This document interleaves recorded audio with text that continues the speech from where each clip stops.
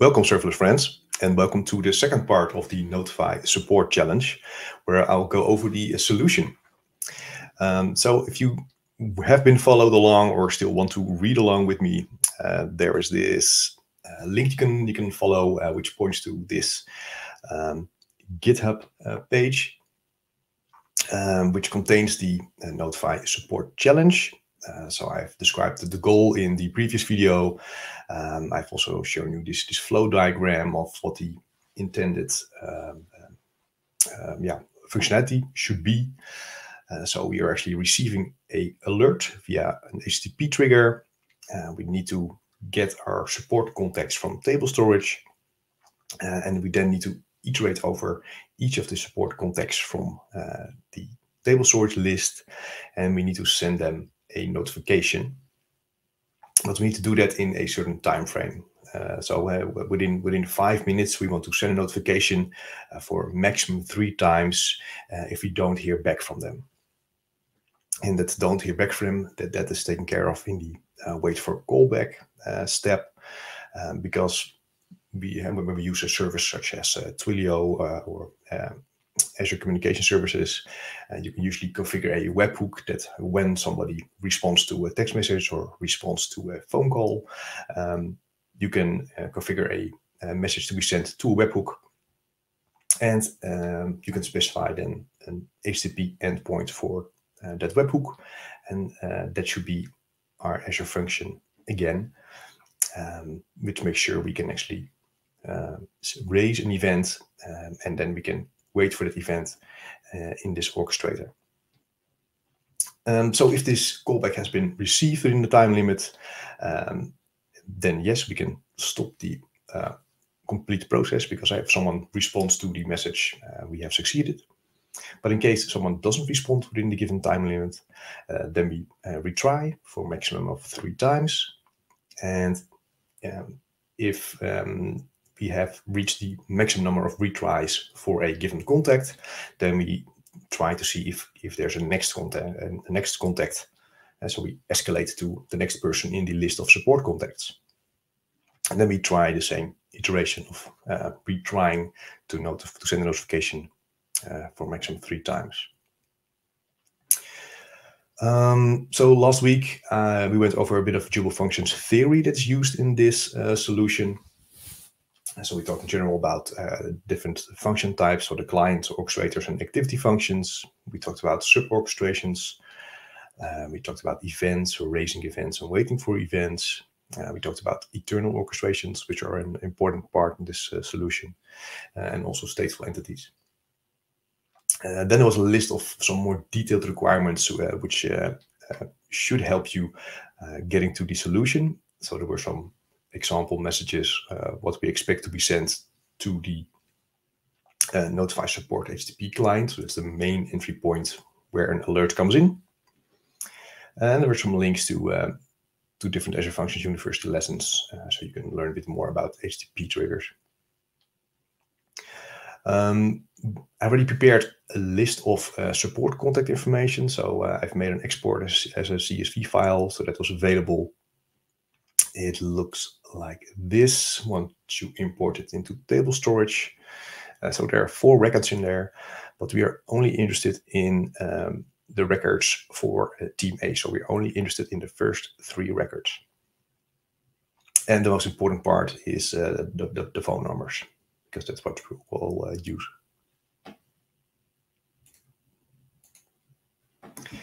And if you want to know more about uh, table bindings, there's another Azure Functions University lesson uh, where you can learn more about that.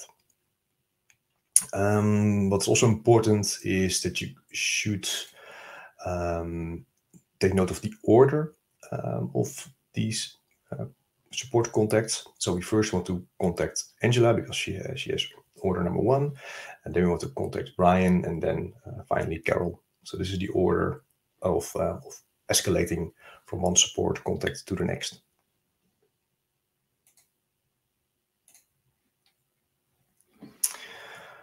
Um, all right, and yeah, it is also mentioned that uh, yeah, one contact should respond within five minutes. Otherwise, we escalate to uh, for the, the, next person.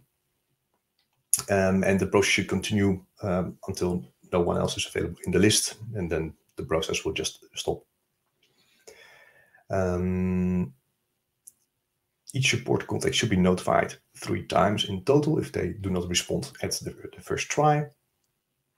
Um, and these notification attempts should occur within that five minute uh, window. And I also mentioned explicitly that the, the retry number, but also the um, five minute uh, window should be configurable values. So you don't want to have hard coded values in, uh, in our function. So once a support contact uh, responds, so uh, once we receive a callback from either Twilio uh, or whichever service, uh, then the whole notification process should stop and no further contacts should be notified. And then an example of uh, the payload of what we expect uh, in the callback, and that is just the phone number. That, that's the only piece of information we have. So it's the payload of the uh, of the callback, um, and we will see later on that we have a callback HTTP client, which takes care of then raising an uh, an event. Um, the, the, the final part, which is quite an important part, is the, the actual sending of notification, eh, so the actual calling a phone number or sending a text message, uh, that can be faked because it's not really about that specific technology. It's more about Azure functions and durable functions, and it's about how to use the orchestration and all the different uh, durable functions APIs. Uh, so that has the focus. Uh, and so there is an activity here uh, which can um, reach out to, to Twilio or to whatever service to do their notification. Uh, but currently it, it does nothing. And the same goes for um, sending then the, um, the, the callback. So also sending of the callback is now a manual step because we are not actually calling anyone. Eh? So we're not using a third-party service um, to, to call someone, uh, which means we also cannot configure a webhook uh, to be triggered uh, as well. So that, that part is faked. Um, so last week I also gave um, this, this link, which contains a bit more information on how the solution uh, can be made. So you might have already seen this, um, uh, this diagram. Uh, so in this diagram, I, I, I try to, it's, it's, a bit of a mess. I try to make clear um, what are the different function types within the solution. So in the solution I made, there are two client functions. So this is the, the main one, the notify support HTTP trigger. Uh, so that will receive the, the alert containing uh, the, the message and a, a severity. And that will start the, the main orchestrator function. And then the main orchestrator function will uh, get the support contacts from table storage. It will then uh, use the first contact in that storage um, and then we'll then uh, start a another orchestration, a sub orchestration, and it will then send a notification for this first support contact. Then it will wait for feedback. And if feedback is not given uh, and, and, the event uh, is not received within a certain time, uh, then we default um, and then we try again within this within a certain time limit to send a notification to the same support contact.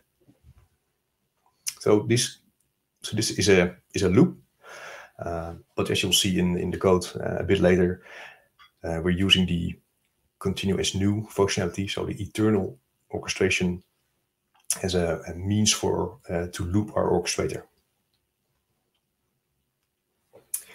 Um, so once we've retried three times to send a notification to uh, one support contact. Um, then we're out of retries, and then we need to go to the next support contact. Uh, so at that point, uh, the main orchestrator takes over. Uh, we will select our next support contact, uh, and then we will start this sub-orchestrator again. So in case uh, we do receive a callback, so in case we indeed somebody picks up their phone or receives a text message and that webhook is, is triggered, uh, that means that our callback HTTP uh, function is triggered. So this is a regular HTTP trigger, um, but it's also a durable client function. Um, and that will actually take care of um, getting the right orchestration ID. Because when you raise, raise, an event, you need to raise an event for a certain orchestration ID.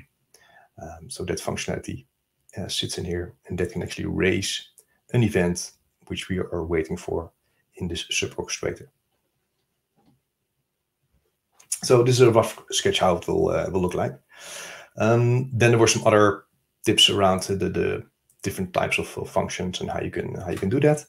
Um, but I think it's it's more fun if I just run the solution now, so you can see um, how it looks like, how it behaves, and um, then I'm using uh, a Visual Studio extension called uh, CodeTour, uh, and we'll use that to tour through the solution, uh, and I'll um, I'll highlight several several steps uh, throughout the uh, the code.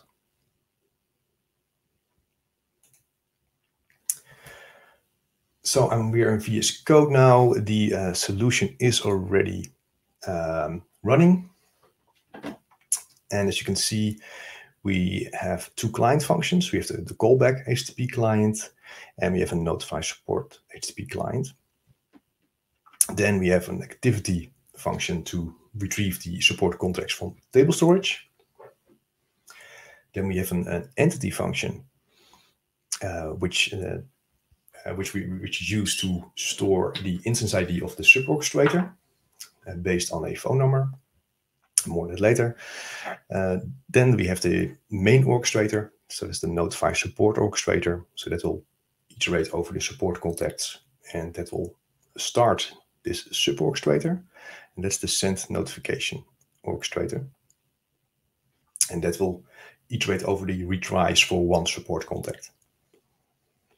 And finally, we have the activity uh, that sits within that's called from the send notification orchestrator, uh, which right now doesn't do anything. It, it's being called, but normally that would call uh, the actual communication service that uh, that you'll be using. Uh, so like I said, it's already running. Um, so we will start by calling this notify support HTTP client. So I'm using the um, uh, REST client extension in VS Code. So I have a .http file, which is available in the test folder in the, in the solution. And when we do a post, then we specify uh, a message and a severity. That will then kick off the uh, the process. Um, and then I've, well, we'll, we'll, see it. Let me just start it and then uh, uh, we'll continue. So let me make this request. So an alert has been uh, received. Um, and it uh, starts uh, this orchestrator. Let's go now here to the logging. Yes, because I've put some uh, logging statements uh, to highlight what's going on. So here we can see that our first contact uh, has been identified and the first attempt is made to send a notification. Um, so in this case, we are not waiting five minutes um, before we go to uh, the next contact, but I think we're just waiting uh, one minute because otherwise you have to wait quite long um, and it's not really useful for the um, for the demonstration. So here we see the second attempt for this uh, first contact. And yeah, here's already the third attempt. Um, because when we wait one minute um, and we divide it by three, so that means that every 20 seconds there will be an attempt for a, a notification. So this has been the, the third attempt and uh, I'm not triggering the callback. So uh, now uh, the next contact is selected. So we have another phone number and this is the first attempt for uh, that second uh, support contact. Uh, so let's let's give it another attempt for for the second um, support contact. So it calls one more time. Yeah, there we go. So it calls the second contact one more time. But let's now stop it. So let so let's now simulate that this uh, second uh, uh, contact now accepts the message, and then we use the callback client with this number.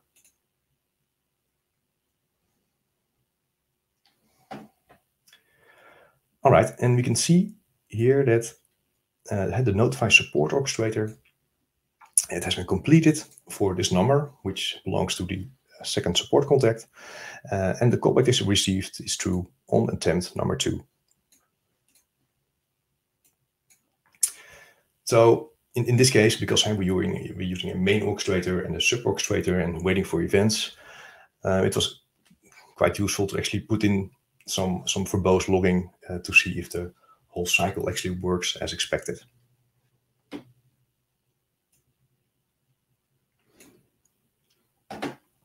All right. So like I mentioned, um, I'm using CodeTour. If you're not familiar with the extension, Go CodeTour, this is it.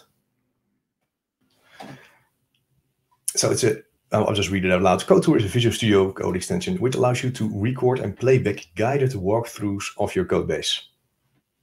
Uh, so it's, it's really, really very useful. You just um, de define all of the text and, and, and yeah, you can set sort of breakpoints with um, um, additional clarifications.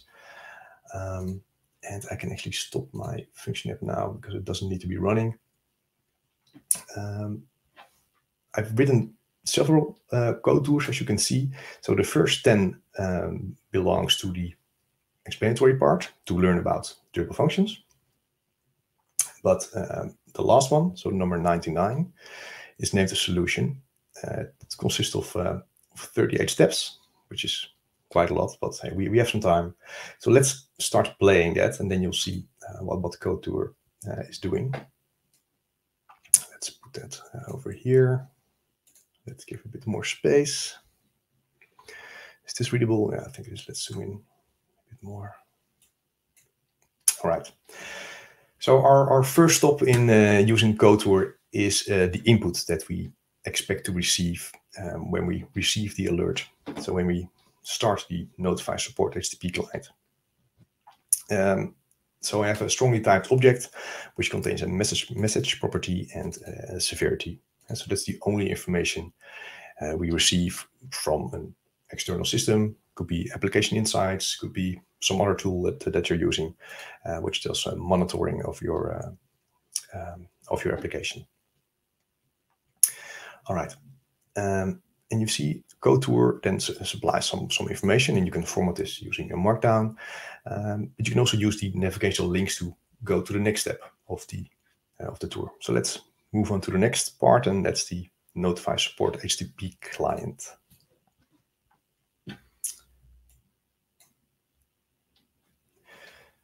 Uh, and here at the right, um, you see the Explorer and we see now that we're in the clients folder and we're now in the notify support HTTP client. So the HTTP client is a regular HTTP triggered function, uh, but in addition, it has the uh, durable client binding, uh, which means that this is a client function. And the, the responsibility of this client function is to create a new instance of the main orchestrator, and that is the notify support orchestrator. Um, so what does it do? It doesn't do a lot. So it, it reads the input from uh, the request. And so that's the notify support client input we just saw. So that is the message and the severity. So that's in this uh, in this in this field now. Then we read two values from, um, in this case, our local settings JSON. So if you have it deployed, then it will it would use the application settings. But we have two values uh, in our configuration. So let's let's go to the configuration itself, and that's the max notification attempts. Um, so this is the number, uh, the the number of attempts that will uh, use to notify one contact person, and it's three. And here we have the wait time for escalation in seconds. So this means we will uh, try to notify one contact for 60 seconds uh, using three attempts. But after the 60 seconds, we will move to our next support contact. So in the description, um, I said five minutes. Uh, so this would not be 60, but, but quite a bit higher. But for demonstration purposes, it's useful that this value is a bit lower. As you can see, we are moving from one support contact to the next. All right, so let's get back to the to the client. Uh, so, I, so I read these from from configuration, so I can uh, pass them on to uh, the other orchestrators a bit later. Um, so orchestrators and activities only allow to have one uh, input argument. Uh, so it's quite often I use a POCO object for that. So I usually have an input object for an orchestrator or an input object for an activity. And here I have to find a, uh, uh, here I'm building uh, the Notify support orchestrator input. So how does that input object look like? Well, that has the max notification attempts that we read from uh, the local settings JSON. It has the, uh, the, the, properties from the incoming uh, request. so it has the message and severity.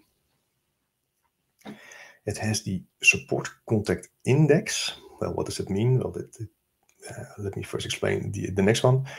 Um, this will soon have, it doesn't have right now, but soon have a list or an array of support contacts. So this property will be filled once we have executed the uh, activity which reads the support context from table storage. And um, since this will be an, an, an eternal orchestrator, uh, so it will start a, new instance, um, it will actually start a new instance and then uh, increase this support contact index to yeah, be able to iterate over all of the entries in the support context array. so initially this is null uh, or zero. Uh, so we start at the at the first element in this array, um, but then under a certain condition, uh, we will just increment this uh, index, and then we will rerun uh, the orchestration using ContinueAsNew, um, which will ensure that uh, we will move, we will iterate over all these support contexts. The last property is the, the wait time for escalation in seconds. So that's the value we uh, are reading from, from our settings. All right. So now, again, let's go back to the client function. So we built this, uh, this orchestrator input object, and here we are starting a new instance of the notify support orchestrator and providing that input object. What we get back is the instance ID of the main orchestrator. Um, and that's also what we give back to, um, uh, to the application, what, what's calling this client. So we get a 202 back uh, with the status message, which this instance ID. Okay, so, so far so good. Uh, nothing really out of the order or very special about this yet. Uh, just an HTTP trigger, which starts a new uh, orchestrator. So let, now let's move on to the main orchestrator itself. So we're now in the orchestrators folder in the notify support orchestrator function. Um, and it's using the orchestration trigger uh, binding to indicate this is an orchestration uh, type function. So, and the purpose of this orchestrator is to read the support context from table storage and start a new sub-orchestration uh, to do the notification uh, part for uh, one contact person. Okay, so let's uh, have a look at the next one. So what we first do is we'll read the inputs from the context.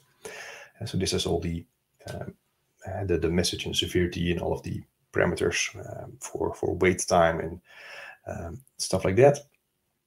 So, so we have the input.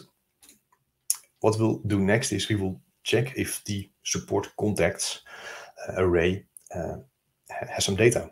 And initially, it won't have any data because we haven't called uh, uh, the activity yet to to get all the support context from table storage. Uh, so initially this is null. So what we'll do inside this if statement uh, is we will uh, schedule the execution of the get support contact activity. And what we expect back is a collection of support uh, contact entities. So uh, let's head over to uh, uh, this activity. Oh, and what you can see as well here that uh, we hard coded the partition key because we were only interested in uh, records uh, for team A, um, which is partition key A. so this is simply hard coded in here. So let's move over to the activity which retrieves the data from table storage. So now we're in the activities folder in the get support activity, uh, get support contact activity function. And that uses an activity trigger binding. And it has a table um, input binding. Uh, we read the, the table name uh, from our local settings JSON, and we've also specified a, uh, a specific connection string for table storage. And then we bind that to uh, the cloud table. Uh, so that's the type we will, uh, will use in this in this function. but what we'll do now is we will create a, um, a query which we want to, to execute. So we define a new table query uh, and we expect to reach back uh, support contact entities. And we put in a where clause where we say, okay, uh, I want to uh, have the partition key to be equal to the team. And the team was an input. In this case, it was team A. Uh, so the partition key, uh, so record has to match with this partition key um, of this input. And then I want to order by uh, the order property of the support contact entities that we are reading.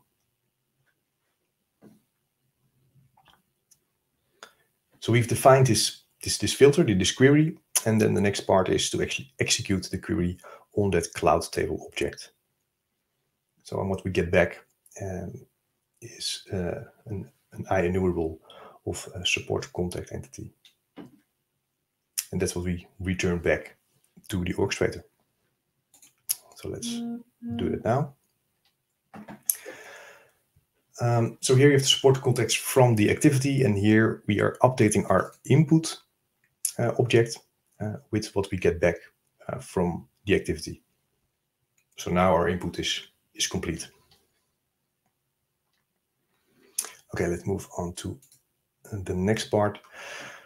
Uh, so after retrieving the support contacts, um, I'm building yet another input. And that input is uh, for the sub orchestrator. Uh, let me just briefly uh, silence my phone. So this input is specific, uh, specific for the send notification orchestrator. So let's briefly have a look uh, what's inside that, that input. So in there is uh, many things what we've seen before because I'm just passing in um, most of the fields from one orchestrator to the other orchestrator. So again, we have the maximum uh, notification attempts, we have the message, um, we have the wait time for escalation in seconds. Uh, but now we have something uh, in addition to that, we have the notification attempt count. Uh, so we have this, this sub orchestrator uh, that will actually loop several times depending on how many notifications we want to send to one support contact. So initially this will start with one uh, and then it will be incremented in case uh, that support contact um, has not sent the uh, callback event. Um, and in this case, um, the send notification orchestrator is only about one support contact. Uh, so we don't need the whole array, uh, just one uh, support contact entity.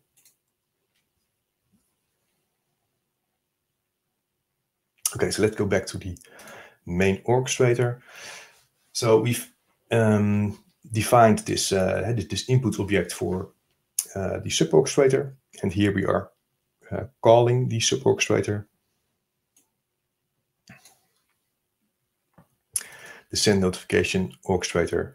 We're providing the input that we've built, and we expect uh, back a send notification orchestrator result. So what is what is in that result? Well, let's have a look at that file.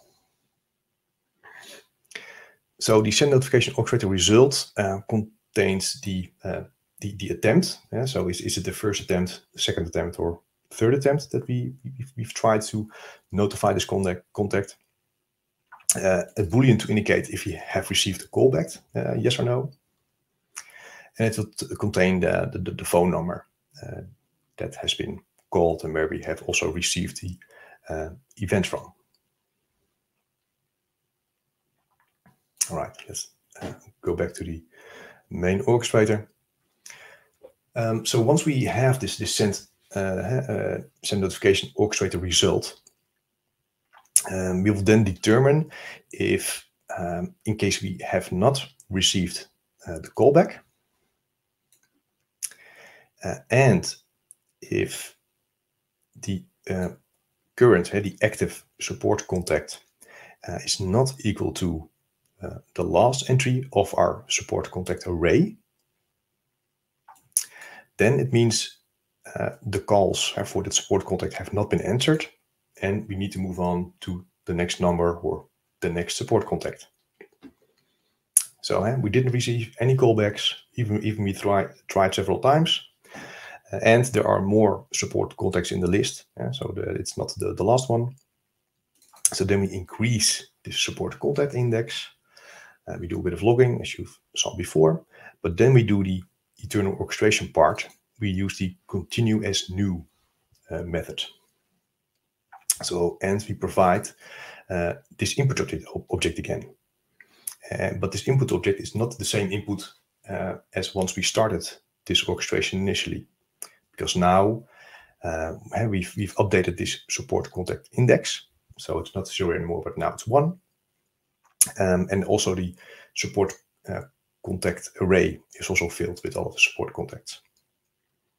So there's an updated input, and now it's it will uh, yeah restart this this orchestrator, uh, but but as a new instance, as a new fresh instance.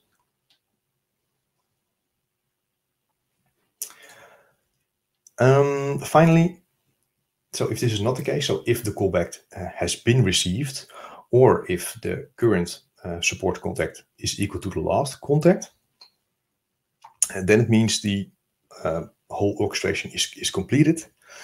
Um, and, and then it means it, it will do just a, a logging statement from hey, what, what was the last phone number we tried, uh, what was the callback result, because maybe the last person also did not respond, so the callback could still be false. and it will uh, do some uh, logging about uh, how many attempts that we tried for that support contact.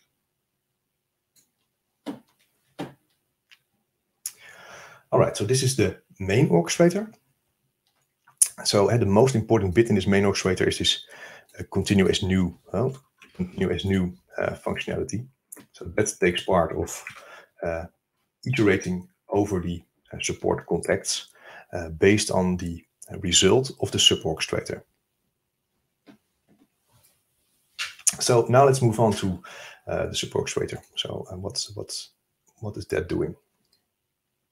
So now we're in the uh, orchestrator folder in the send notification orchestrator. So again, the orchestration trigger binding is used to indicate this is an uh, orchestrator type function. And so this is the sub orchestrator, and this handles actual the, the, the calling or the scheduling of the notification. Um, and it will wait for the callback event.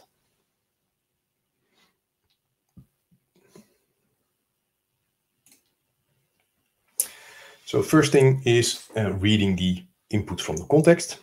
Uh, well, we've already seen before what, what, is, what is inside here. So we can actually uh, use all the configuration and the support contact information in this orchestrator.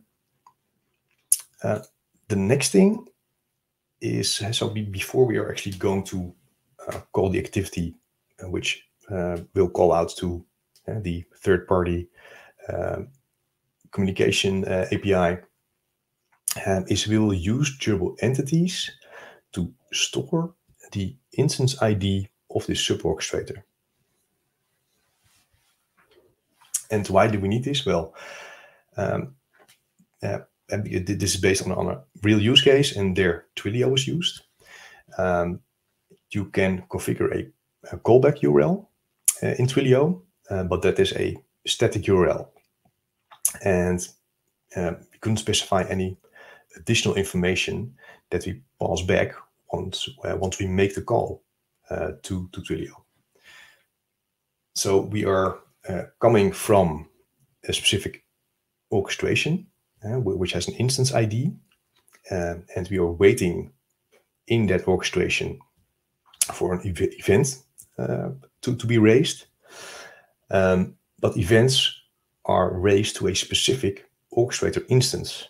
And so we need to know what that orchestration instance ID is. And since we cannot uh, provide the instance when we call out to uh, to, to Twilio or to whatever service we're using, uh, we can also not get it back from that route. So that's why before we send a notification, we will store the instance ID and we will couple it to the phone number, which is in this case a unique identifier. And once we receive the callback, then we will uh, look up that instance ID based on the phone number again, since that is the only information that we have that we will receive from the callback event. Um, working with stateful entities, um, you always need to create a new instance of an entity ID. And entity ID is always a combination of uh, the name of the uh, entity class. Uh, we'll go there in a bit. Um, and uh, a key.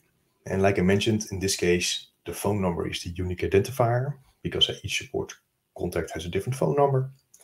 Uh, so the entity ID is comprised of the uh, name of the class and the phone number. So now let's have a look at the entity definition. Uh, so an entity is a, a public class. Um, the documentation suggests that you should use um, uh, these, these attributes to opt in which members you actually want to have uh, persisted to storage. Uh, so that's why on the class level, I use the member serialization opt-in. Uh, then I only specify the JSON property attributes on the properties that I actually want to have stored. So in this case, we want to store the instance ID of the suborchestrator.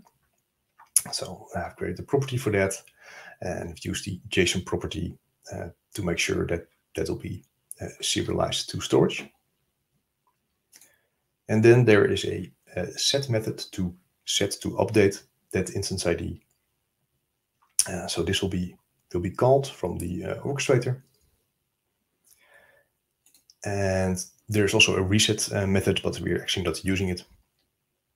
And the final thing is um, we are using the entity trigger binding to indicate this is an entity function. Uh, and we're using the dispatch um, async method and this method ensures that we can perform operations like uh, the set and the reset uh, on this entity. So yeah, it's a very small definition of, of an entity function, which has just one, pro one property, the instance ID, uh, and we will only use this set method to, uh, to set it. And of course, we will also retrieve the whole entity state uh, to retrieve the instance ID again. Let's first see how we actually uh, will set the instance ID. So let's get back to the send notification orchestrator.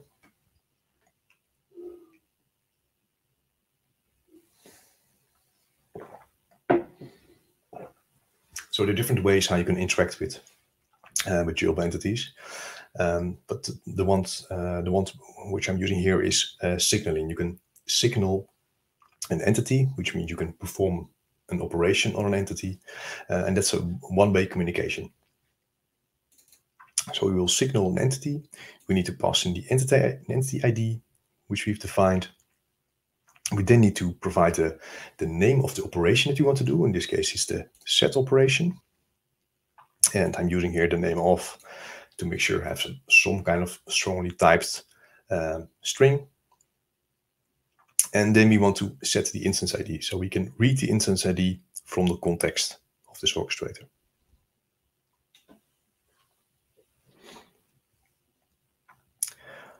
All right, so and once this uh, step is done, uh, the instance ID is saved for this um, phone number. Now we are going to build the input object for the activity that will uh, send a notification. In this case, we have an attempt, we have a message, and we have a phone number.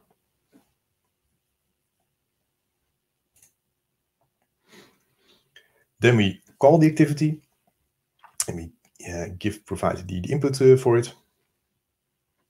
Um, I don't think you need to have actually put in uh, a go-to step for the this activity itself, but it's, it's just empty. It just does a logging statement that uh, this phone number is being called for this uh, number of attempts.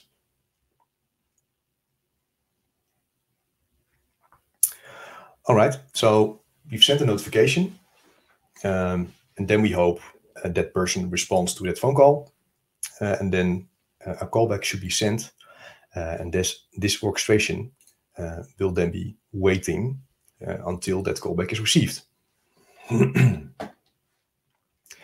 um, before we go to the actual waiting part, I'm actually calculating how long I want to wait, because we said the requirement said we want to wait maximum five minutes for one contact, and then we want uh, three notification attempts within those five minutes. So that means I have to uh, wait several times. So I have to do several uh, retries within that five minute time window. So that's what I'm calculating here. I'm calculating the wait time between each uh, notification attempt. So what I'm doing is I'm creating a time span from seconds and I am dividing the uh, wait time for escalation. I'm dividing it by uh, the maximum notification attempts. And so this is the five minutes and this is the uh, value of three. So is, that, that gives me a wait time between retries. And what I'm then doing with that wait time between retries that is then used in the uh, wait for external event um, uh, call. And that's also part of durable functions. So now the orchestrator is waiting for uh, an event of type bool, uh, which is named callback. Um, but we are also specifying how long we want to wait. And if we haven't received the event within this time, then we use the default value, which is false.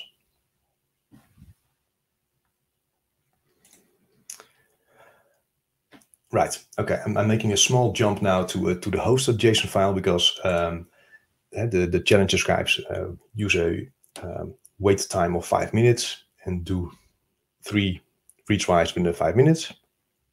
Uh, but when I started the, the demo, you see I was uh, using uh, 60 seconds as a wait time just to make sure we uh, see a bit more of, of all of the retries and looping over notification contacts. But the shorter you um, make your your wait time, uh, then the more you'll see uh, it's kind of a mismatch or an inaccuracy in timings when you use durable functions. And that is because durable functions is based on uh, on storage queues, and it will pull um, uh, the queues to see if there are uh, tasks to be done. And by default, uh, that polling is, I think, on a 30 second interval or 20 second interval. Yeah, but when you're, yeah, when your waiting times are uh, near that value of 20 to 30 seconds, like for instance, uh, 60 seconds, uh, then it becomes quite obvious that the timing is a bit off. so then uh, you appear to be waiting longer for that, that event. But the good thing is you can actually uh, change that polling interval that uh, um, Azure Functions or durable functions is, uh, is pulling the queues for. So by default, this won't be visible in your uh, host.json, but you can include this durableTask. You can specify a hub name, but now in specific, you can specify the max queuing polling interval for your storage provider. And right now I've set it to one second uh, to be as precise as, as possible. the longer time interval you have, uh, then you might even not need to to, to change this. But yeah, the, the, shorter it is and the more accurate you want to be, then you need to make sure that this polling interval is also quite small. Let's get back to the sub orchestrator. So we were waiting for the external event, um, and now we will uh, do something with the callback result. So if the callback result is false and uh, the current notification attempt count is less than the maximum no notification uh, attempts, then it means we can try, try again. So then we will increment this notification attempt count and we will use the eternal orchestration functionality again. So we will continue as new uh, with this updated input. So this is a way of then, yeah, doing uh, the looping again within this sub-orchestrator.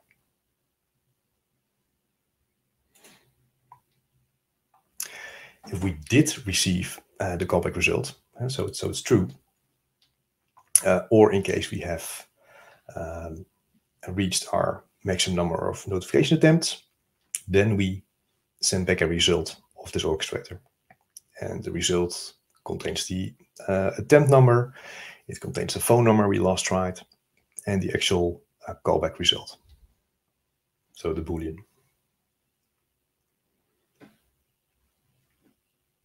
And um, yeah, that was the last step. Um, I just realized that I am still missing uh, the callback client. That is not in here yet. So let's uh, move to that. And I think that's the final part. So this is the callback client. And the callback client, and that, that should be configured somewhere um, in your third-party communication service. And it needs to be uh, called whenever someone picks up their phone um, once the uh, notification has been sent. So this is an HTTP trigger, so it says a, static URL. Um, and it's also a, a durable client yeah, because we're using the durable client uh, binding here. Because what we need to do in uh, this client function is we need to raise an event to the orchestrator uh, that is waiting for, uh, uh, for, for this event, for this callback event to be completed. And the only thing we have in the uh, message in its request is the phone number. So that's what we're reading out first. Then we are using uh, durable entities again uh, because we want to read what the instance ID is of the sub-orchestrator that is coupled to the phone number. So we want to look up the entity. If you first we define the entity, and again, it's the same definition. It's a combination of the entity ID instance and the phone number.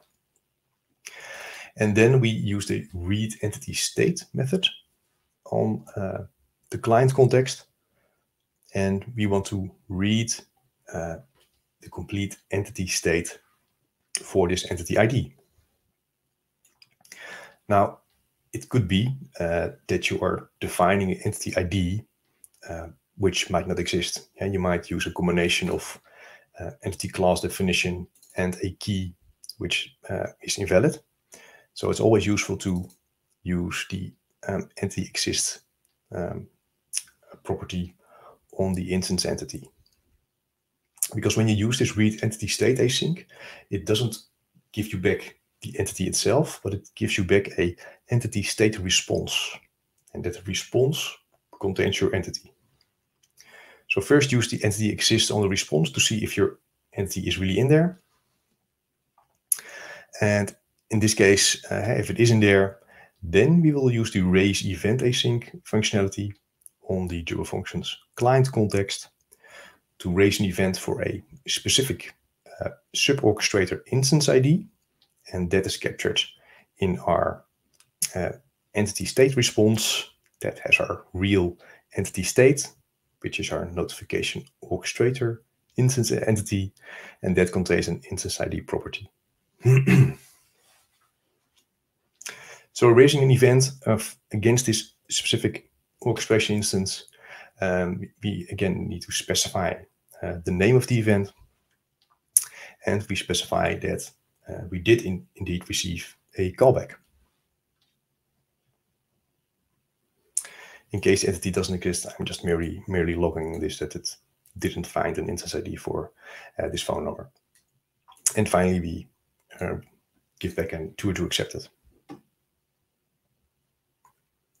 So yeah, using stateful entities and durable entities here, uh, it was really a, a, key to the solution in, in case you cannot pass on the instance ID uh, when you actually do the notification and get it back uh, through that third-party service.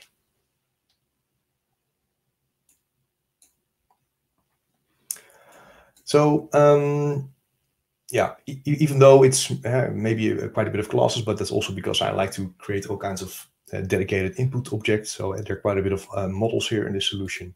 Uh, but yeah, only two orchestrators. So the main orchestrator, which is yeah, not even that big, like it's 51 lines, and, and the actual lines of code is even less.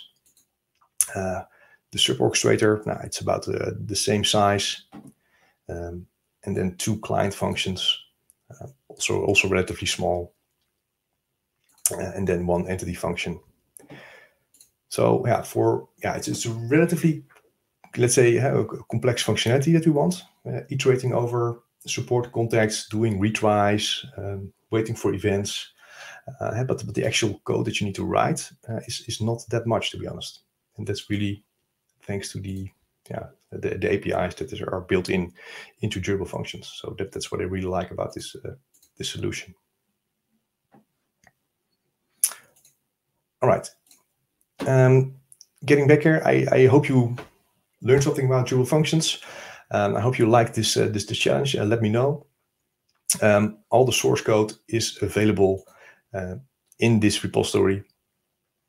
Um, I really ask you to yeah try out to uh, clone this repo and use CodeTour uh, to navigate through the code to the solution.